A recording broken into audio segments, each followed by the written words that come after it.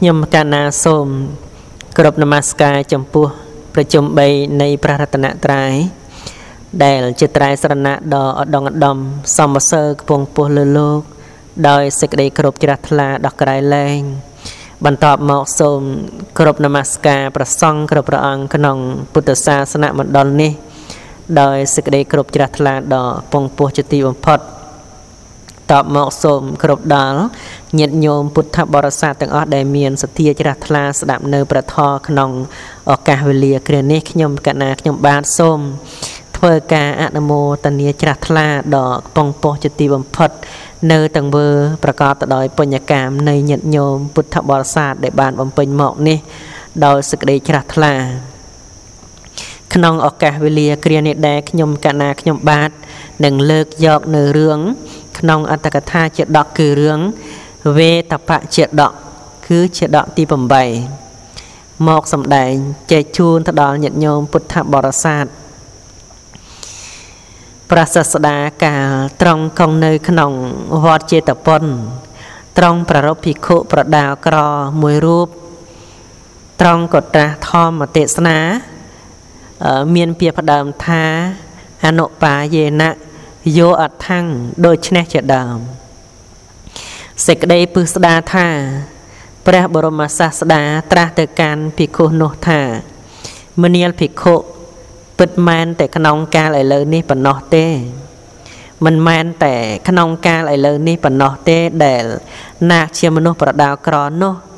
សូមបីក្នុងកាលមុនណាក៏ជាមនុស្សប្រដៅក្រដែរព្រោះហេតុនោះទៅមិនធ្វើតាម ពាក្យទូលមានរបស់បណ្ឌិត ត្រូវកាបដោយដាវដាយជា2 3កំណាត់ដួលដេកនៅតាមដងផ្លូវនៅតាមផ្លូវព្រោះតែណាក់ឯងមួយណាក់ប៉ុណ្ណោះណាដតី1000ណាក់ទៀតក៏ត្រូវអស់ជីវិតដោយសារណាក់ឯងដែរដូច្នេះហើយទើបត្រង់នាំយករឿងអតីតនិទានមកសម្ដែងដូចតទៅនេះ ក្នុងកាលដែលកន្លងទៅហើយកាលប្របាទព្រមតតសោយរាជសម្បត្តិនៅក្នុងនគរពារាណសីមានព្រាមណានៅក្នុងស្រុកមួយចេះមុនឈ្មោះទេបៈបានឮថាមនុស្សមានតម្លៃការថ្លៃពំបានគួរបូជាក្រៃលែងណាស់កាលបានរឹកវេលាល្អហើយណាក់ចេះមុននោះរាយមុននោះសម្លឹងមើលអាកាសហើយ ភ្លៀងរតនៈ7ប្រការក៏ធ្លាក់ចុះមកអំពីអាកាសគ្រានុងព្រះបរមពុរិស័ទរៀនសិល្បៈក្នុង សំណាក់ព្រាមនោះថ្ងៃមួយព្រាមបបួលព្រះបរមពុរិស័ទចេញចាកស្រុករបស់ខ្លួន ធ្វើដំណើរទៅកាន់ដែនចេតៈដោយធុរៈអេណានីមួយ តាមផ្លូវដែលធ្វើដំណើរទៅនោះមានព្រៃមួយ មានចរនៅក្នុងព្រៃនោះដែលហៅថាពេពេសនកចរហៅថាពេសនកចរមានប្រមាណ500នាគដែលជួបជុំគ្នាចាំស្ទាក់ផ្លូវប្លន់ចោទាំងនោះចាប្រាស់បរមពុរិស័ទនិងវេតព្រាមទុកតើព្រោះហេតុអ្វីទើបចោទាំងនោះមានឈ្មោះថា ពេសនកចរ ព្រោះមានរឿងដំណាលថា ពួកចោទាំងនោះចាប់បានមនុស្សពីរនាគហើយប្រើមនាគទៅយកប្រាក់មកឲ្យពួកវាព្រោះហេតុនោះទៅមនុស្សទាំងឡាយហាពួកចោនោះថាពេសនកចោពួកចោទាំងនោះពួនសតៈត្រង់បរិវេណព្រៃមួយកន្លែង ប្រសិនបើចាប់បានឪពុកនិងកូនបានក៏និយាយនឹងឪពុកថា ចូលទៅរកទ្រព្យសម្បត្តិឲ្យពួកយើង ហើយយកកូនទៅវិញចុះដោយរបៀបនាងជានិច្ចចាប់បានម្ដាយនិងកូនស្រីបានហើយក៏ប្រើម្ដាយឲ្យទៅយកប្រាក់មកលោះកូនស្រីវិញ ចាប់បងនិងប្អូនបានហើយក៏ប្រើបងទៅយកប្រាក់មកលោះប្អូន ចាប់អាចារ្យនិងសិស្សបានហើយក៏ប្រើសិស្សឲ្យយកប្រាក់មកលោះអាចារ្យគ្រានោះពួកចោនោះ បានចាប់វេតព្រាមទុក ហើយក៏ដោះលែងព្រះពោធិសត្វឲ្យទៅវិញព្រះបរមពុរិស័ទលាអាចារ្យហើយពោលដាក់ទឿនថាខ្ញុំទៅតែពី3ថ្ងៃប៉ុណ្ណោះលោកអាចារ្យកុំភ័យខ្លាចឡើយម្យ៉ាងទៀតសូមធ្វើតាមពាក្យរបស់ខ្ញុំផងចុះថ្ងៃនេះនឹងមានរឹកល្អដែលនឹងអាចញ៉ាំងភ្លៀងគឺ ទ្របឲ្យធ្លាក់ចុះមកលោកត្រូវអត់ទ្រាំនឹងសេចក្តីទុក្ខកុំរាយមុនឲ្យមាសប្រាក់ថ្លាស់មកអសោះប្រសិនបើលោកធ្វើឲ្យភ្លៀងមាសភ្លៀងប្រាក់ថ្លាក់ចុះមកនោះលោកនឹងដល់នៅសេចក្តីវិនាសចោទាំង500នាគនេះនឹងសម្លាប់លោកពុនមិនខានលើសដាក់ទឿនយ៉ាងនេះហើយក៏ធ្វើដំណើរទៅយកទ្របមកចំណែកពួកចោ លុះប្រាអាទិត្យអស់ស្ដង់កត់ក៏ចងព្រាមនងឲ្យដេកងើបមិនរួចឲ្យដេកងើបមិនរួចគ្រានោះឯងចានមណ្ឌលក៏បរិបូរក៏រះឡើងអំពីទិសខាងកើតព្រាមសម្លឹងឃើញអ្នកខិតរឹកក៏គិតឃើញថា បានរឹកដែលដែលនឹងធ្វើឲ្យភ្លៀងមាសភ្លៀងប្រាក់ធ្លាក់ចុះមកហើយអញចាំបាច់សោយទុកយ៉ាងនេះធ្វើអ្វី រាយមិនឲ្យភ្លៀងរតនៈធ្លាក់ចុះមក យកទ្របឲ្យពួកចរហើយ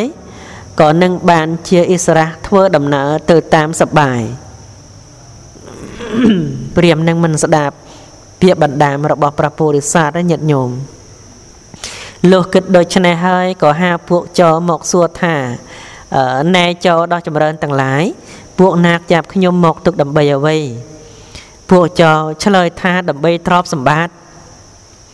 ព្រាមក៏ពោលថាណែចរដោះចម្រើនទាំងឡាយប្រសិនបើពួកនាគត្រូវការទ្រព្យចូលប្រញាប់ស្រាយចំណងខ្ញុំឲ្យខ្ញុំងូតទឹកកក់ក្បាលស្លៀកសម្ពត់សប្រោះព្រំខ្លួនដោយគ្រឿងក្រអូបប្រដាប់ដោយកម្រងផ្កា ហើយឃុំខ្លួនខ្ញុំទុកចុះពួកចោស្ដាប់ពាក្យរបស់ព្រាមនោះហើយក៏ធ្វើតាមគ្រប់យ៉ាង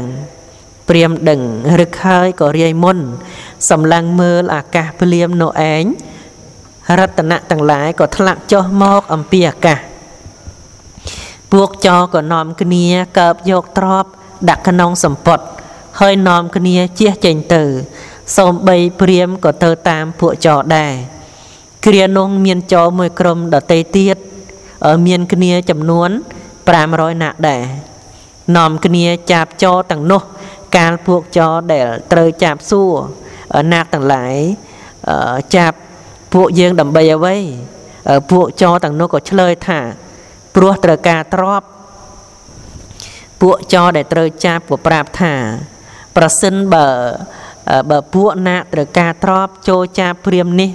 ទុកចោះគាត់សម្លឹងមើលអាកាសហើយធ្វើទ្របឲ្យធ្លាក់ចុះមកបាន ទ្របរបស់ពួកយើងនេះគឺគាត់ជានាគអយទាំងអស់ពួកចក៏ដោះលែងចដែលចាប់ទុកនោះទៅ ហើយក៏ឃុំខ្លួនព្រាមទុកដោយ ហើយក៏ពោលពាក្យថាចូលលោកឲ្យទ្របដល់ពួកខ្ញុំ ដល់យើងខ្លះផង ចូលលោកឲ្យទ្របដល់ពួកយើងខ្លះព្រាមកពោលថាខ្ញុំអាចឲ្យទ្របដល់ពួកនាគបាន តែរឹកដែលនឹងហៅទ្របឲ្យធ្លាក់ចុះមកបាននោះត្រូវចាំមួយឆ្នាំទៀតប្រសិនបើពួកនាគត្រូវការទ្របទៅរងចាំដល់ពេលនោះខ្ញុំនឹងហាលភ្លៀងទ្របឲ្យធ្លាក់ចុះមកបាន ពួកចរក្រតខឹងហើយនិយាយថាណែមនុស្សអាក្រក់ត្រង់ណាក់ដតេឯងណាក់ដតេឯងហាលភ្លៀងប្រាក់មាសប្រាក់ភ្លៀងធ្លាក់ចុះមកបានអេពួកយើង ប្រាប់ឲ្យរងចាំមួយឆ្នាំទៅវិញដូច្នេះហើយក៏បានការព្រាមនោះជាពីកំណាត់ដោយដាវដមុតបោះចោលតាមផ្លូវហ្នឹងហើយមិនស្ដាប់នៅពាក្យដែលព្រះពោធិសត្វដាក់ទឿនថាកុំធ្វើអញ្ចឹងណាក់ប្រាជ្ញណាក៏ចេះដឹងប្រាជ្ញដាក់ទឿនមិនស្ដាប់ទីបំផុតក៏ក៏វិនិច្ឆ័យស្មានថាធ្វើអំពើនឹងគឺបានរួចខ្លួន ប៉ុន្តែធ្វើឲ្យខ្លួនវិនិច្ឆ័យអន្តរាយដល់ដល់ជីវិតទៅវិញក៏បោះចោលតាមផ្លូវនាំគ្នាដេញតាមពួកចោទាំងនោះសម្លាប់ព្រាមនោះចោលដេញតាមពួកចោដែលបានទ្រព្យសម្បត្តិនោះយ៉ាងលឿនសម្លាប់ចោទាំងនោះអស់ហើយដណ្ដើមយកទ្រព្យទៅបែកគ្នាជាពីរពួកសម្លាប់គ្នាឯងសម្លាប់គ្នាឯងស្លាប់អស់250នាគហើយក៏បែកគ្នាទៀត ខាងនេះគឺព្រោះតែទ្របវិញចោហ្នឹងសម្លាប់គ្នាងាប់ជាច្រើននោះគោពេញព្រៃហ្នឹងព្រោះតែទ្របសម្បត្តិហ្នឹងអញ្ចឹងបានថាទ្របសម្បត្តិហ្នឹងគឺជាសេបអាសេរពឹសព្រះសម្មាសម្ពុទ្ធព្រះអង្គត្រាស់ត្រាស់ជាអាសេរពឹសមួយដែរសម្លាប់នៅមនុស្សយើងមនុស្សកសាយព្រោះទ្របសត្វងាប់សត្វងាប់ព្រោះចំណី អញ្ចឹង250នាគហើយក៏បែកគ្នា សម្លាប់គ្នាទៀតដោយរបៀបនេះ ទីបំផុតទីបំផុតសល់តែ2នាក់ហើយសម្លាប់គ្នាឯងស្លាប់អស់ទៀតពួកចោ1000នាគដល់នៅសេចក្តីវិនិច្ឆ័យដោយប្រការដូចនេះអញ្ចឹងចោទាំង500មុននោះបានទ្រពសម្បត្តិដោយអាស្រ័យព្រាមនឹងអយនឹង ហើយក៏ចោទាំង500ហ្នឹងដេញតាមសម្លាប់ចោទាំងអស់នោះចោទាំង500នោះសម្លាប់ទាំងចោ500នោះអស់ទៀតព្រោះនេះច្រើនហើយបានយកទ្រព្យសម្បត្តិមកក៏ក៏សម្លាប់គ្នាឯងហ្នឹងអស់250នាគទៀតអញ្ចឹងនៅសល់250នាគ250នាគហ្នឹងសម្លាប់តតគ្នាទៀតសម្លាប់តតគ្នានៅសល់តែ2នាគហើយទីបំផុតនឹង2នាក៏សម្លាប់គ្នាទៅវិញទៅមកក៏បាន បានងាប់អស់ទៅស្លាប់អស់ទៅឃើញហើយនឹងអន្តរាយព្រោះតែទ្របជាប់ចម្ប៉ះក្នុងទ្របមនុស្សយើង គឺអាស្រ័យសេចក្តីលោភលន់មកពីមោហៈអវិជ្ជាក្រាស់ក្រែយក្នុងសន្តានចិត្តនឹងធ្វើឲ្យអន្តរាយរហូតដល់ជីវិតចោទាំងពីរដែលនៅសល់ដណ្ដើមយកទ្របនោះមកបានដោយឧបាយនេះ នាំគ្នាយកទុកក្នុងកម្ពូតព្រៃមួយកន្លែងចូលមណាកាន់កំបិតអង្គុយចាមណាចូលមណាកាន់នៅពីរណាកតែនៅលួបលន់ទៀតអត់ចែកគ្នាទេចូលទាំងពីរណាកដែលនៅសល់ដើមយកទ្រព្យសម្បត្តិនោះមកដោយអបាយនេះក៏នាំគ្នាទៅឡាកទៅឡាក្នុងកម្ពូតព្រៃមួយកន្លែងចូលមណាកាន់កំបិតអង្គុយចាម មណាកយកអង្គចូលទៅកាន់ស្រុកដើម្បីដាំបាយដែលឈ្មោះថាការលមោបជាឫសកលនៃសេចក្តីវិន័យភាពលោភលន់ហ្នឹងគឺជាឫសកលនៃសេចក្តីវិន័យដែរព្រោះហេតុនោះចូលមណាអង្គុយចាមទ្របនោះគិតថាការចូលនោះមកទ្របនេះនឹងត្រូវចែកជាពីរចំណែកកុំដូចនេះឡើយកាលណា វាមកអញនឹងកាប់សម្លាប់ស្លាប់ ដោយកំបិតនេះក៏ជាប់ព្រឿងលឹះគាត់ដូចនេះហើយក៏សៀតកំបិតអង្គុយរងចាំចូលម្នាក់នោះមកចំណែកចូលម្នាក់ទៀតក៏គិតថាទ្របនេះនឹងត្រូវចែកជាពីរចំណែកមិនបានទេ បើដូច្នេះអញយកថ្នាំបំពិលក្នុងអាហារឲ្យចូលនោះសៀអស់ជីវិតចូលនោះសៀដើម្បីបំពិលថ្នាំអស់ជីវិតហើយអញគ្រប់គ្រងទ្របសម្បត្តិតែម្នាក់ឯង លុះគិតដូច្នេះហើយ កាលបាយឆ្អិនក៏ប្រញាប់ស៊ីមុន ចំណែកដែលសេះសល់នោះក៏ដាក់ថ្នាំ មុនកាន់ធ្វើដំណើរដើរមកកន្លែងដែលចូលមណាទៀតអង្គុយរងចាំក្រនតែដាក់អាហារចុះភ្លាមចូលមណាដែលអង្គុយរងចាំនោះ កាបដោយកំបិតដាច់ជាពីកំណាត់យកទៅបោះចោលក្នុងកម្ពូតព្រៃហើយត្រឡប់មកបរិភោគអាហារនោះ ហើយចោនោះបរិភោគអាហារនោះក៏បំពិលថ្នាំបំពិលស្លាប់ជីវិតទៀតបាត់បង់ជីវិតទៀតក៏អស់ជីវិតក្នុងទីនោះឯងចោទាំងអស់នោះដល់នៅសេចក្តីវិនិច្ឆ័យប្រអាស្រ័យទ្របដោយប្រការដូចនេះលើកកន្លងទៅបានពី3ថ្ងៃព្រះបរមពុរិស័ទក៏កាន់ទ្របមកមិនឃើញអាចារ្យនៅទីនោះឃើញតែទ្របខ្ចាត់ខ្ចាយក៏គិតថាអាចារ្យមិនជឿពាក្យរបស់អញ ប្រហែលជាហាលទ្របឲ្យធ្លាក់ចុះមកមិនខាន គ្រប់គ្នាដល់នៅសេចក្តីវិនិច្ឆ័យទាំងអស់ឃើញទេទ្រព្យសម្បត្តិនឹងធ្វើខុសកាលប្រាប់បរមពុរិស័ទបានប្រាប់ឲ្យមិនជឿមិនត្រឹមតែស្លាប់បាត់បង់ជីវិតកិត្តម្នាក់ឯងណាគេទាំង1000នាគជីវិតមនុស្ស1000នាគបានស្លាប់អស់ទៅដោយសារតែតែមិនជជឿពាក្យរបស់បណ្ឌិត ដូច្នេះហើយក៏ដើរទៅកាន់ផ្លូវធំ ការដើរទៅដល់ក៏ឃើញអាចារ្យត្រូវកាប់ដាច់ជាពីរកំណាតព្រះបរមពុរិស័ទគិតថា អាចារ្យត្រូវមកស្លាប់យ៉ាងនេះព្រោះមិនពឿព្រោះមិនជឿពាក្យរបស់អញហើយក៏រកអស់មកខោជាជើងថ្កដិតសាកសពអាចារ្យទៅបូជាដោយផ្កាឈើព្រៃហើយដើរតទៅទៀត ក៏បានឃើញចោទាំង500នាគស្លាប់ដើរតទៅទៀតក៏បានឃើញចោ250នាគស្លាប់ដោយលំដាប់ ទីបំផុតមិនឃើញចោទាំងពីរស្លាប់ក៏គិតថា មនុស្សដែលដល់នៅសេចក្តីវិញ្ញាណនោះ1000នាគខ្វះតែ2នាគប្រកបជា មានចោ2នាគទៀតហើយចោ2នាគទៀតមិនរួចខ្លួនឡើយចោពីនាគនោះទៅទីណាណោ គិតចឹងព្រះពុរិស័ទគិត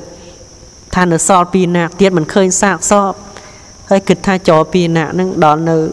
ប្រហែលជាដល់នៅសេចក្តីវិញ្ញាណទៀតហើយលោកគិតដូចនេះហើយក៏ដើរទៅខាងមុខទៀត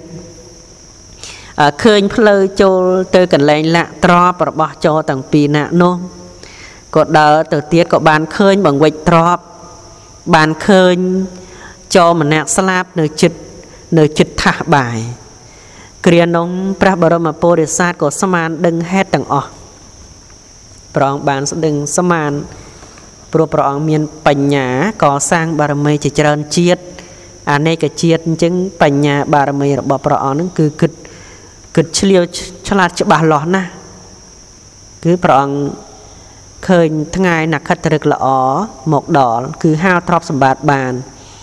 ប៉ុន្តែចោទាំងអស់នោះចាប់ ចាប់ព្រះបរមពុរិស័ទនឹងគឺដោយអាស្រ័យទ្រព្យប៉ុន្តែព្រះអង្គមិនអោយមិនអោយហាលទ្រព្យសម្បត្តិផងប្រហាលទ្រព្យទាំងនោះមកដឹងថាសេចក្តីវិនិច្ឆ័យដល់ដល់មនុស្សជាច្រើនគ្នាអញ្ចឹងបានព្រះបរមពុរិស័ទនឹងទៅយកទ្រព្យដើម្បីមកលោះគ្រូអាចារ្យហើយគ្រូអាចារ្យនឹងចាំមិនបានណាពួកចរទាំងនោះក៏បានធ្វើយ៉ាងនេះហើយបានធ្វើយ៉ាងនេះហើយក៏គិតថា អឺចោនោះនៅទីណាណោព្រះបរមពុរិស័ទណា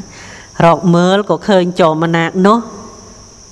ត្រូវកប់នៅទីនោះហើយក៏គិតថាអាចារ្យរបស់អញមិនធ្វើតាមពាក្យទូលមានព្រោះតែខ្លួនជាមនុស្សប្រដៅក្រសូមបីខ្លួនឯងក៏ដល់នៅសេចក្តីវិនិច្ឆ័យមិនតែប៉ុណ្ណោះក៏ធ្វើឲ្យណាដតីមួយផនណាកទៀត1000នាគទៀតដល់នៅសេចក្តីវិនិច្ឆ័យយ៉ាងអនាថា បុគ្គលដែលប្រាថ្នាសេចក្តីចម្រើនដល់ខ្លួន ដោយហេតុដែលមិនមែនជាឧបាយនឹងដល់នៅសេចក្តីវិនិច្ឆ័យដ៏ធំដូចជាអាចារ្យរបស់អញដល់នៅសេចក្តីវិនិច្ឆ័យដូចនេះហើយក៏ពោលគាថាយ៉ាងនេះថាអនុបាយេនយោអដ្ឋੰអិច្ចតិសោវិហិញ្ញតិចេតាហនឹងសុវេតបាំងសពេទេពយៈសនមុច្ឆន មច្ឆតន្តិបុគ្គលណា ប្រាថ្នាសេចក្តីចម្រើន ដោយខកបាយបុគ្គលនោះរមែងលំបាកដោយពួកចរនៅក្នុងដែនចេតាបានសម្លាប់នៅវេទព្រាមចរទាំងអស់នោះក៏ដល់នៅសេចក្តីវិនិច្ឆ័យបណ្ដាបទទាំងនោះបទថាសវិហញ្ញតិសេចក្តីថាបុគ្គលណា គិតថាយើង ប្រាថ្នាប្រយោជន៍គឺសេចក្តីចម្រើន សេចក្តីសុខដល់ខ្លួន ធ្វើសេចក្តីព្យាយាម ដោយហេតុដែលមិនមែនជាអបាយក្នុងសម័យដែលមិនមែនកាល រមែងក្តៅក្រហាយគឺលំបាក ដល់នៅសេចក្តីវិនិច្ឆ័យយ៉ាងធំបទថាចេតា បានដល់ពួកចោដែលនៅ ក្នុងដែនចេតរតបទថាហនិញសុវេតបាំងសេចក្តីថា ពួកចរនៅក្នុង ចេតរតព្រួត ដែលគ្នាសម្លាប់ព្រាម ដែលមានឈ្មោះថាវេតភៈព្រោះចេះមុនវេតភៈបទថាសាពេទេពិយសៈណមច្ចតុងសេចក្តីថាសូមបីចរទាំងអស់នោះក៏សម្លាប់គ្នាឯងឲ្យស្លាប់អស់ដោយមិនសល់ម្នាក់កាលមានហេតុដូច្នេះព្រះបរមពុរិស័ទក៏ប្រកាសកងរំពងទូតាំងព្រៃថា អាចារ្យរបស់យើង ធ្វើសេចក្តីព្យាយាម ក្នុងរឿងដែលមិនមែនជាឋានៈដោយហេតុមិនត្រូវតំណងដោយឧបាយមិនប្រពៃហាលទ្របឲ្យធ្លាក់ចុះមកសំបីខ្លួនឯងក៏អស់ជីវិត តាំងជាបច្ច័យនៃសេចក្តីវិនិច្ឆ័យដល់អ្នកដតី1000ណាកទៀតយ៉ាងណាមិញសូមបីអ្នកដតីអ្នកដតីដែល ប្រាថ្នានៅ ប្រយោជន៍ដើម្បីខ្លួន ធ្វើសេចក្តីព្យាយាម ដោយឧបាយមិនប្រពៃ បុគ្គលទាំងអស់នោះនឹងដល់នៅសេចក្តីវិនិច្ឆ័យដោយខ្លួនឯងផង ជាបច្ច័យនៃសេចក្តីវិនិច្ឆ័យដល់អ្នកដតីផងដូច្នេះកាលពួកទេវតាអុយពោសាបសាតកាពោសាបសាតកាហើយក៏សម្ដែងថតដោយគាថានេះនាំទ្របនោះមកប្រតាសរបស់ខ្លួនដោយឧបាយដល់ប្រពៃធ្វើបន់សមាធធ្វើបន់មានទៀនជាដើមលុះអស់ជីវិតក៏បាន ធ្វើសួរនឹងទេវលោកឲ្យបរិបូរឡើងចឹងព្រះអង្គយកទ្រព្យសម្បត្តិទាំងអស់នោះបានមកធ្វើទៀនឲ្យអ្នកក្រីក្រផ្សេងផ្សេងសមណៈព្រាម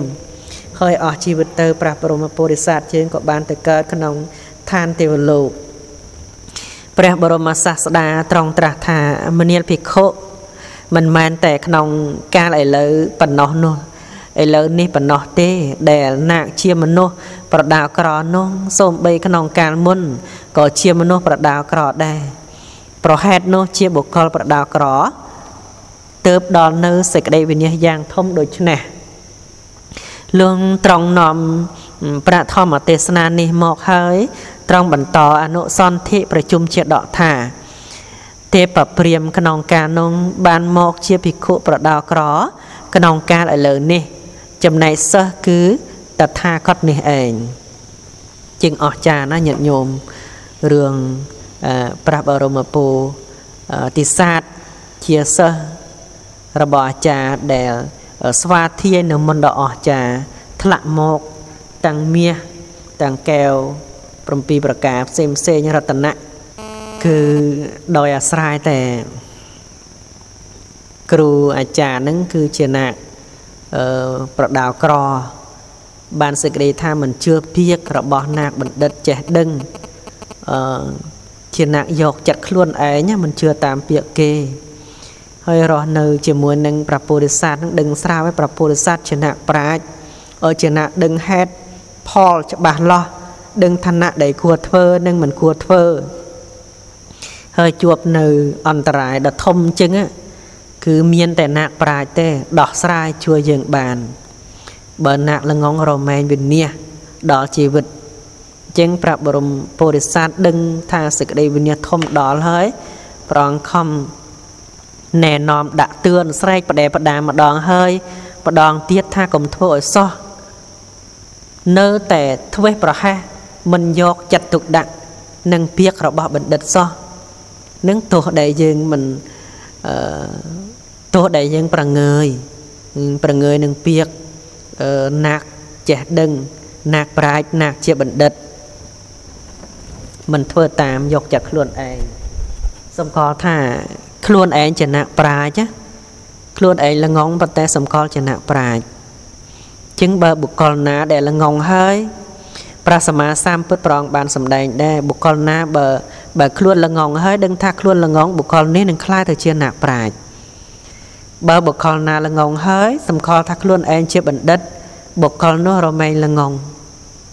រមែងជាពៀលល្ងងកែអស់រួចកាលណាបើដឹងថាខ្លួនល្ងងនឹងរមែងព្យាយាមស្ដាប់ព្យាយាមសិក្សាព្យាយាមសាកសួរស្រាវជ្រាវអ្នកដទៃថែមទៀតនៅដើម្បីសិក្សាបើយល់ថាខ្លួនឯងចំណាក់ចេះហើយខ្លួនឯងចំណាក់ស្ទាត់ជំនាញដឹងច្បាស់លាស់អស់ហើយដឹងប្រការ រាល់មុខអស់ហើយអញ្ចឹងហើយមិនសាកសួរមិនចូលទៅចិត្តអ្នកប្រាជ្ញហើយពាក្យសម្ដីដែលសម្ដែងមកប្រងើយកន្តើយមិនយកចិត្តទុកដាក់ពិចារណាតេះរិះធ្វើទុកក្នុងចិត្តជាបាយផ្សេងផ្សេងយកតែចិត្តខ្លួនឯងហ្នឹងគឺបុគ្គលនោះរមែងល្ងងងងរហូតមិនមានថ្ងៃណាភ្លឺស្វាងចឹងក្នុងឱកាសវេលាគ្រានេះគឺរឿងវេតបច្ចេដក ក្នុងអត្តកថាហ្នឹងបានចប់ត្រឹមនឹងញាតិញោមគឺពីរោះណា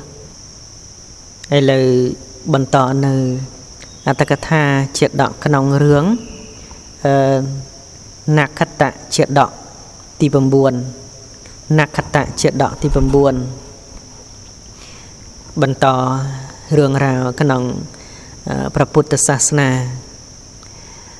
ព្រះបរមសាស្តាកាលត្រង់កង់នៅ ក្នុងវត្តចេតពុនត្រង់ប្រារព្ធអាជីវមនាគ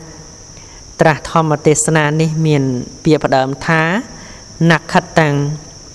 បដិមានេនតាំងដូចនេះជាដើម បានឮថាកលបុត្រនាគស្រុកក្រៅមនាគទៅដណ្ដឹងកលធិតា ដែលនៅក្នុងក្រុងសវត្ថិមនាគឲ្យកូនប្រុសរបស់ខ្លួន ដាក់ថ្ងៃថាក្នុងថ្ងៃឯណោះនឹងមកទទួលយកកូនក្រមុំទៅលុះដល់ថ្ងៃកំណត់ក៏សួរអាជីវកណាកចូលទៅកាន់ត្រកូលរបស់ខ្លួនថាបើពុទ្ធលោកម្ចាស់ដោះចម្រើន ថ្ងៃនេះពួកខ្ញុំនឹងធ្វើមង្គលមួយយ៉ាងតើថ្ងៃនេះជាថ្ងៃល្អដែរឬទេ អាជីវកនោះក្រត់ហើយគិតថាអាជីវកនោះខឹងព្រោះអីការកូនកាអីអត់ មានប្រាប់ដល់ថ្ងៃបានមកប្រាប់ដាក់កូនដាក់អីអត់ប្រាប់អញ្ចឹងអាជីវកនោះក៏ក្រត់ខឹងក៏គិតថាពួកនេះកាលពីដំបូង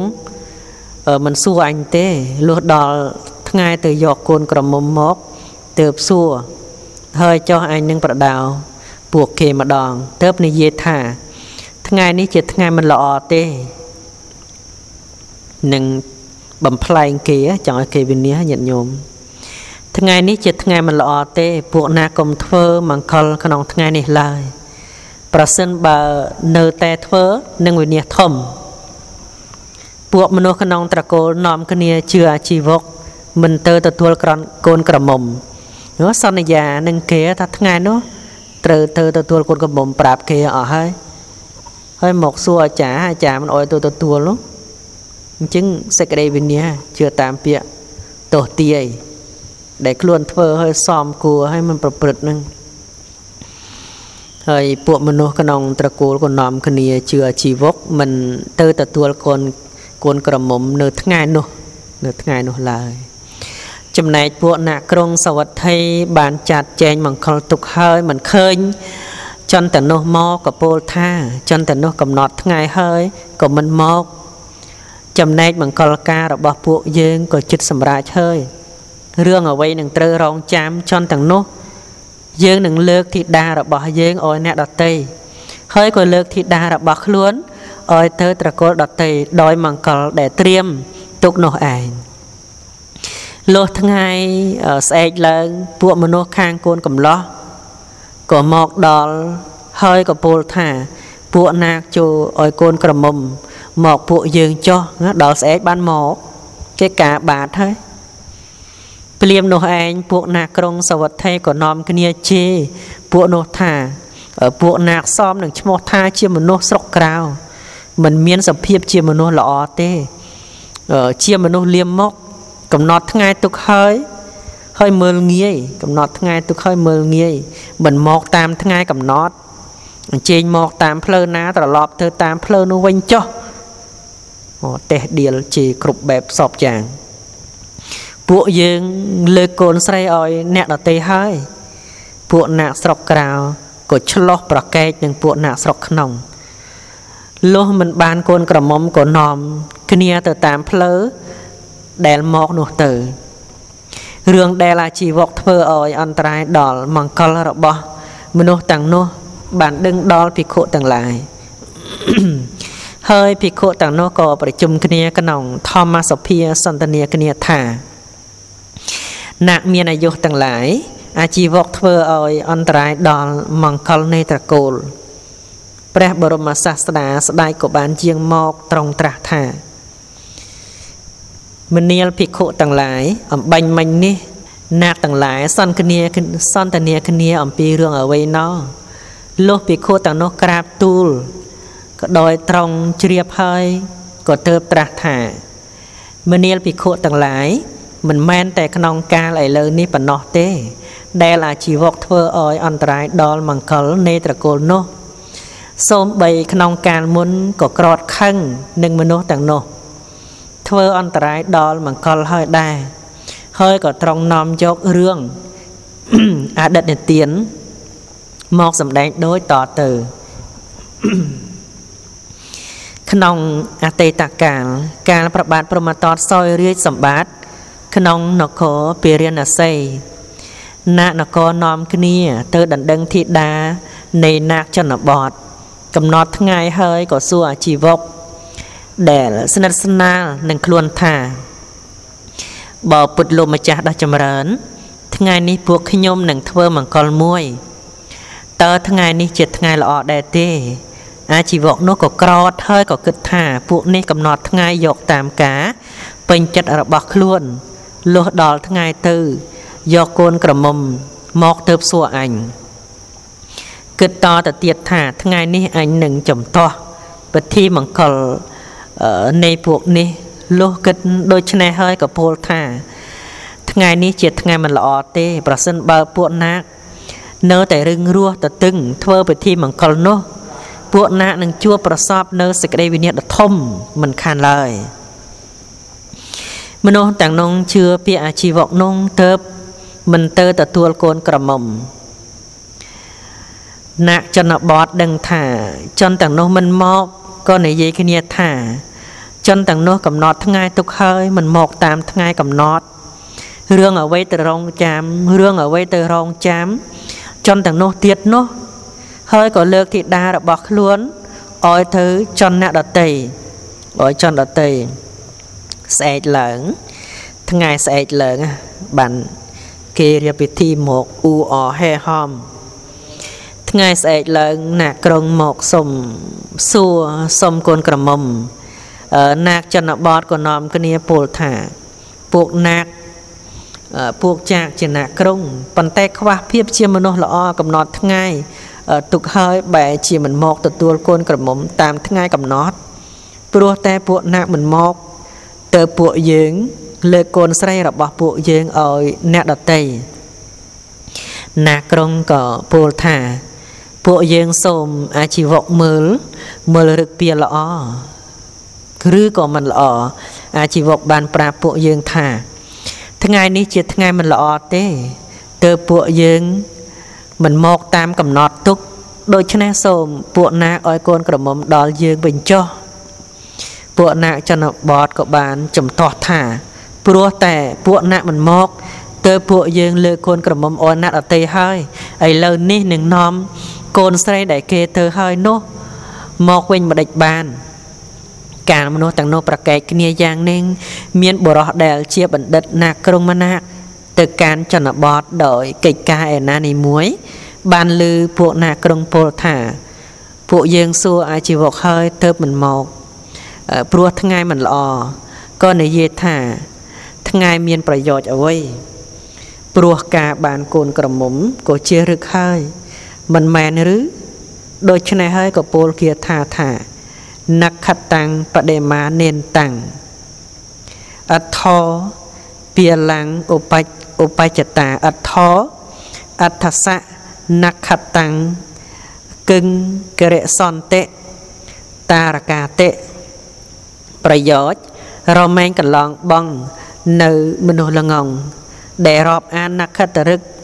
ព្រោះសេចក្តីចម្រើននៃប្រយោជន៍ឈ្មោះថានខត្តរិកអេផ្កាយទាំងឡាយនឹងធ្វើអ្វីបាន បណ្ដាបតថាបដិមានិនតាំងសេចក្តីឋានៈរងចាំមើលអធិប្បាយថារវល់តែរងចាំមើលឋានៈខិតរឹកនឹងមានក្នុងពេលឥឡូវនេះឥឡូវនេះ Mm-hmm. បទថាអធោពាលាំងឧបច្ចឧបច្ចតាសេចក្តីថាប្រយោជន៍ពោលគឺការបានកូនក្រមុំកន្លងបងនៅបុគ្គលងងដូចណាក្រុងនេះបទថាអធរអតសៈនខតាំងសេចក្តីថាបុគ្គលស្វែងរកប្រយោជន៍ណា ប្រយោជន៍ដែលគេបានហើយនោះឯងឈ្មោះថានខតរិកនៃប្រយោជន៍បទថាគឹងករិសន្តិការកា តារកាសេចក្តីថាផ្កាយទាំងឡាយក្នុងអាកាសក្រៅនេះនឹងញ៉ាំងប្រយោជន៍អ្វីខ្លះឲ្យសម្រេចបាន ពួកណាក្រុងឆ្លោះនិងពួកណាជនបទហើយមិនបានកូនក្រមុំក៏នាំគ្នាត្រឡប់ទៅវិញព្រះបរមសាស្តាទ្រង់ត្រាស់ថាមនាលភិក្ខុទាំងឡាយមិនមែនតែក្នុងកាលឥឡូវនេះ តែប៉ុណ្ណោះទេ ដែលអាជីវកនេះចំទាស់នឹងពិធីមង្គលនៃត្រកូលនោះសូមបីក្នុងកាលមុនក៏បានធ្វើហើយលុះត្រង់នាំយកធម្មទេសនានេះមកហើយក៏ត្រង់បន្តនៅអនុសន្ធិប្រជុំជាដកថា អាជីវកក្នុងកាលនោះ បានមកជាអាជីវកក្នុងកាលឥឡូវនេះសូមបីក្នុងត្រកូលទាំងនោះក្នុងកាលនោះក៏បានមក ជាត្រកូលក្នុងកាលឥឡូវនេះ ចំណែកបុរសដែលជាបណ្ឌិតឈោពលគាថាក្នុងការនោះគឺតថាគតនេះឯងจึงសូមញាតិញោមពុទ្ធបរិស័ទជ្រះថ្លាអនុមោទនាស្ដាប់បន្ត នៅអត្តកថាជាដកគឺរឿងទុំមេថជាដកទី10ព្រះបរមសាស្តាកាលត្រង់កង់នៅក្នុងវត្តចេតពុនព្រះអង្គត្រង់ប្ររព លោកកថាចរិយាគឺការបំពេញប្រយោជន៍ដល់សត្វលោកទើបត្រង់ត្រាស់ធម្មទេសនានេះមានពាក្យផ្ដើមថាទុំមេធានាំងដូច្នេះជាដើមក្នុងអតីតកាលកាលប្របាទព្រមតតសូរិសម្បត្តិក្នុងនគរពារាណសីព្រះបរមពុរិស័ទបដិសន្ធិក្នុង ប្រករនៃអគ្គមហេសីរបស់ព្រះរាជាអង្គនោះ លុះប្រសូតចាកកប្រមាតាហើយប្រញាតបានថ្វាយប្រនាមថា ព្រមថតកុមារលុះមានប្រចន្ទ16វស្សាត្រង់សិក្សាសិល្បៈក្នុងក្រុងកតសេលាចប់ត្រៃវេទនិងសម្រេចសិលស័ក18ប្រការក្រោយមកព្រះរាជបិតាត្រង់ព្រះរាជទានតំណែងឧបរាជឲ្យព្រះអង្គ ក្នុងគ្រានោះមហាជននៅ ក្នុងនគរពិរិណសី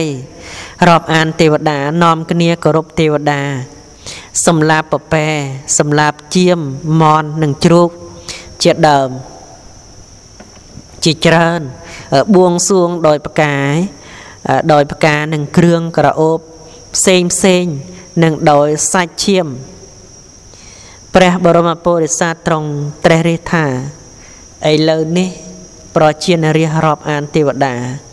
គោរពទេវតាថាជាវត្ថុដ៏ប្រសើរ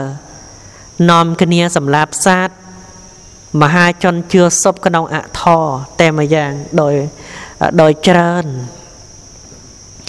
បើអញបានទទួលរាជសម្បត្តិ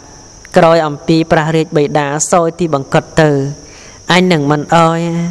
អញនឹងមិនអោយសូមបីតែតែសម្បត្តិ អញនឹងមិនអោយសូមបីតែមួយដល់នៅសេចក្តីលំបាកព្រះអង្គទ្រង់បដិញ្ញាថាអញ្ចឹងថាព្រះអង្គបានទទួលសោយរាជសម្បត្តិបន្តអំពីព្រះបិតាគឺព្រះអង្គមិនអោយសាទលោកលំបាកសូមបេតែមួយមិនអោយលំបាកវេទនាផង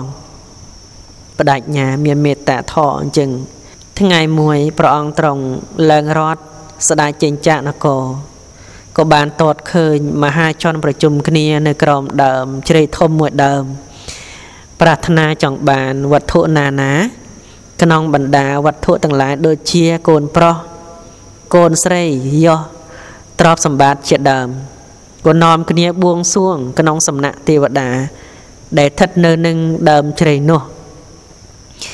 ទើបព្រះអង្គស្ដេចចុះចាករត់ត្រង់ជាងចូលទៅចិត្តដើមជ្រៃនោះ ត្រង់បូជាដោយផ្កាកំរង និងគ្រឿងក្រអូបប្រតាក់សិនដើមជ្រៃនោះដោយពួកដែលរាប់អានទេវតាជាប្រះថ្វាយបង្គំទេវតាហើយស្ដាយក្រោកចាកត្រង់រត់ត្រឡប់ចូលនគរវិញ តាំងពីពេលនោះមកស្ដាយជាងទៅកាន់ដើមជ្រៃនោះ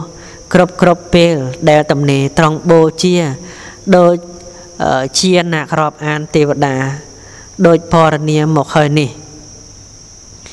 សម័យថ្ងៃក្រោយមកព្រះរាជបិតាសោយទីបង្កត់ព្រះបរមពុរិស័ទក៏បានសោយរាជត្រង់វាអកតេ4ប្រការ ត្រង់ប្រព្រឹត្តដ៏តឹងរឹងបំផុត ត្រង់គ្រប់គ្រងរាជដោយធរត្រង់ព្រះតម្រេះថាមโนរតរបស់អញដល់ទីបំផុតហើយ អញតាំងនៅក្នុងរាជសម្បត្តិហើយគំនិតដែលអញគិតទុកក្នុងកាលមុននោះក៏នឹងត្រូវធ្វើឲ្យដល់ទីបំផុតក្នុងកាលឥឡូវនេះទៅបត្រង់ឲ្យហៅពួកអាមាត្យនិងមហាជន មានព្រាមនិងកហបតីជាដើមមកប្រជុំគ្នាហើយត្រង់ប្រកាសថាណែនាគដ៏ចម្រើនទាំងឡាយនាគទាំងឡាយដឹងទេថាហេតុអ្វីទើបយើងបានរីសម្បត្តិ មហាជនក៏នាំគ្នាក្រាបទូលថាបើពុទ្ធមហារាជពួកទូលបង្គំទាំងឡាយមិនជ្រាបទេព្រះរាជាត្រង់ត្រាស់សួរថាកាលយើងបូជាដើមជ្រៃមួយដើមឯណោះដោយគ្រឿងក្រអូបជាដើមប្រកងអញ្ជលីសម្បាសតើពួកណាបានឃើញឬទេ មហាជនក៏ក្រាបទូលថាបើពុទ្ធមហារាជពួកទូលបង្គំបានឃើញដែរ ព្រះរាជាមានព្រះរាជតម្រាស់តទៅទៀតថា ក្នុងគ្រានោះ យើងបានប្រាថ្នាថាប្រសិនបើ បានរាជសម្បត្តិនឹងធ្វើពលិកម្មយើងនឹងបានរាជសម្បត្តិនេះដោយអនុភាពនៃទេវតាទាំងនោះឥឡូវនេះ យើងនឹងធ្វើពលិកម្មចំពោះទេវតា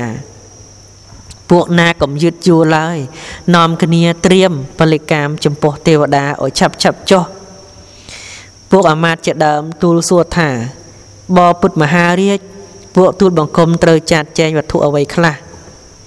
ព្រះរាជាក៏ត្រង់ត្រាស់ថាណែណាក់ទាំងឡាយកាលយើងបួងសួងទេវតាយើងបានអង្វររកថាអង្វររកថាខ្ញុំនឹងសម្លាប់ពួកមនុស្សដែលនាំគ្នាប្រព្រឹត្តនៅអំពើនៃមនុស្សទ្រោះសិល5ប្រការ មានសម្លាប់សត្វជាដើម និងពួកមនុស្សដែលប្រព្រឹត្តអកុសលកម្មអកុសលកម្មបត់10ក្នុងរាជការនៃខ្ញុំ ហើយនឹងធ្វើពលកម្មដោយពោះវៀនឈាមសាច់នៃមនុស្សទាំងនោះព្រោះហេតុដូច្នេះពួកនាគចូលវាកង ប្រកាសក្នុងនគរថាព្រះរាជារបស់ពួកយើង ការនៅជាអប្រាជ្ញត្រង់បួងសួង ទេវតាទុកយ៉ាងនេះថា ប្រសិនបើបានគ្រប់គ្រងរាជសម្បត្តិ និងបញ្ជាឲ្យសម្លាប់មនុស្សទ្រុះសិល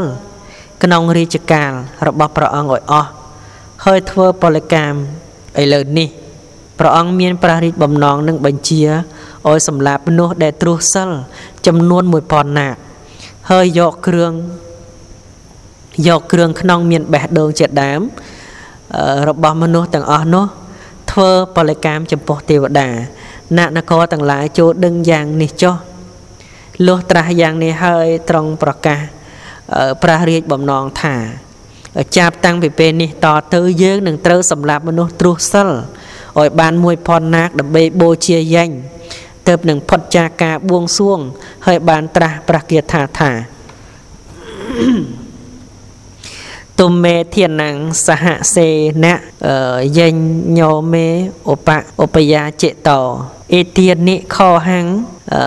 យជិយជិសាមិបហោអធម្មិកោចណោតិការបូជាអញបានបួងសួងហើយដោយសារមនុស្សអាប់អិតប្រាជ្ញារាប់អានរាប់ពាន់ណាកឥឡូវនេះអញនឹងបូជា ព្រោះចិនមិនប្រកបដោយធម៌ជាច្រើន បណ្ដាបទទាំងឡាយពីបទថាទុំមេធាននាងសហសេនៈសេចក្តីថា ដែលឈ្មោះថាណឥតប្រាជ្ញា ព្រោះប្រាជ្ញានៃជនទាំងឡាយនោះ គឺទោសប្រទោសហើយ ព្រោះភាពនៃការមិនដឹងថា កាមនោះគួរធ្វើ កាមនោះមិនគួរធ្វើឬថាប្រសិទ្ធភាពនៃការប្រព្រឹត្តកាន់យក តែអកុសលកម្មបត់10គឺចំនួន1000ដែលលោករាប់យក ជាជនពៀលងងអាប់អិតប្រាជ្ញានោះ ទាំងនោះបទថាយញ្ញោមេឧបយាចេតោសេចក្តីថា យើងបានចូល ទៅរកទេវតាអង្វរកដល់ការបូជាយញ្ញថានិងបូជាយញ្ញយ៉ាងនេះបទថាអ៊ីទៀននេះខហាំងយាជីសាមិសេចក្តីថាយើងនោះនឹងបូជាយញ្ញក្នុងកាលឥឡូវនេះប្រោះបានគ្រប់គ្រងរាជសម្បត្តិដោយការបួងសួងក៏សួរថាព្រោះហេតុអ្វីឆ្លើយថា ព្រោះឥឡូវនេះមនុស្សដែល ប្រព្រឹត្តអកុសលធម៌មានច្រើនណាស់អឺប្រហែលដូច្នេះត្រូវចាប់ពួកគេយកទៅធ្វើពលកម្មក្នុងកាលឥឡូវនេះពួកអាមាត្យស្ដាប់តម្រាស់របស់ព្រះរាជាហើយក៏ទទួលព្រះរាជព្រះបរមរាជាអង្គការថាព្រះករណាថ្លៃវិសេសហើយក៏វាស្គរប្រកាសទូទៅពេញនគរពារាណសី ដែលមានបរិមណ្ឌល12យោជនាคนគរទូទៅស្ដាប់អាជ្ញាអំពីការវាស្គរប្រកាសហើយក៏មិនហ៊ានធ្វើខ្លួនឲ្យទៅជាមនុស្សទ្រុសសិលទៀតដោយកុសលោបាយ10ប្រពៃរហូតដល់កាលដែលព្រះបរមពុរិស័ទគ្រប់គ្រងរាជសម្បត្តិបុគ្គលដែលធ្វើកាមទាំងឡាយមានមនុស្សទ្រុសសិលមានមនុស្ស ទុសិលកម្ម5ប្រការឬ10ប្រការសូមបីត្រឹមតែមួយប្រការក៏មិនប្រកាសឡើយព្រះបរមពុរិស័ទត្រង់មិនបានអោយបុគ្គលសូមបីតែមណាកលំបាកឡើយបញ្ជាអោយណាក់ដែនទូទៅរក្សាសិលសូមបីព្រះអង្គឯងក៏ត្រង់បំពេញបុណ្យមានការអោយទៀនជាដើមលុះអស់ប្រចន្ទត្រង់ក៏បាននាំបរិស័ទរបស់ព្រះអង្គទៅណែនណានតានតាបនៅឯទេវនិកោ នោះទៅកើតជាទេវតាដោយប្រការដូចនេះដោយអាស្រ័យខ្លាចអាជ្ញារបស់ព្រះអង្គព្រះអង្គចេញឧបាយថាបុគ្គលណាមិនរក្សាសិលបុគ្គលណាធ្វើអំពើទុច្ចរិតមិនរក្សាសិលមិនប្រព្រឹត្តនៅកុសលកម្មបត់ដប់នឹងបុគ្គលនោះត្រូវទោសអាជ្ញារបស់ព្រះរាជាអញ្ចឹងហើយខ្លាចអាជ្ញាព្រះរាជាមួយមួយខំរក្សាសិលចម្រើនធម៌ ជាច្រើនដល់ពេលអស់ជីវិតទៅ បានទៅកើតឋានសួគ៌ណែនណានតានតាបដេដាព្រះបរមសាស្តាត្រង់ត្រាស់ថាមនាលភិក្ខុទាំងឡាយមិនមែនតែក្នុងការឥឡូវនេះប៉ុណ្ណោះទេ ដែលតថាគតប្រព្រឹត្តជាប្រយោជន៍ចំពោះសាទលោកសូម្បីក្នុងការមុនក៏ធ្លាប់ប្រព្រឹត្តមកហើយដែរលងត្រង់នាំយកនៅប្រធរទេសនានេះមកហើយត្រង់បន្តអនុសន្ធិប្រជុំជាដកថា បរិស័ទក្នុងកាលនោះបានមកជាពុទ្ធបរិស័ទក្នុងកាលឥឡូវនេះ ចំណែកព្រះរាជានគរពិរិណសេគឺតថាគតនេះឯងអញ្ចឹងចប់ក្នុងរឿងនេះចប់ត្រឹមនឹងចឹងមិននឹងបញ្ចប់ខ្ញុំបករណាសូមធ្វើខខន្តីអភ័យទោសអំពីសំណាក់ ពុទ្ធបរិស័ទទាំងអស់ក្រែងថាសម្ដែងទៅមានការលឺលោះបត់បាតអក្សរបលេសេចក្តីអធិប្បាយត្រង់កលែងណា មិនសមរម្យមិនពីរោះទៅតាមនិស័យចិត្តថ្លើមរបស់អស់លោកណាញាតិញោមពុទ្ធបរិស័ទទាំងអស់នោះសូមធ្វើខខន្តីអភ័យអនុក្រោះដល់ខ្ញុំប្រការណាផង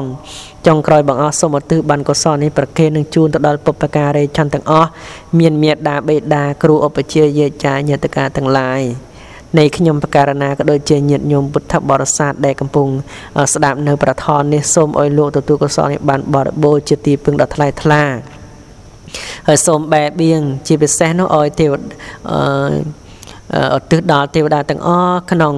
10000លោកធាតុជាពិសេសស្ដេចទេវតាទាំង4គឺប្របាទកវេរៈថតរៈថៅរូបខៈនិងរូលហាកាស សូមទទួលកុសលនឹងបានបរិបូរជាទីពឹងដ៏កំពង់កំពស់ក្នុងសង្សារវដ្តសូមបែបបៀងជាងមក អយពោសាទុកាវជ័យសិរីសុស្ដីជ័យមង្គលវិបលសុខរពកាចូលកើតមានដល់ពុទ្ធបរិស័ទទាំងអស់អយជួបតែសំណាងល្អបវរនិស័យសុខកាយសบายចិត្តផិតទុកផិតភ័យសិរីកើតមានកុសលបន្ទានព្រមយានថ្លៃថ្លាកើតចិត្តណានាសមាទិដ្ឋិ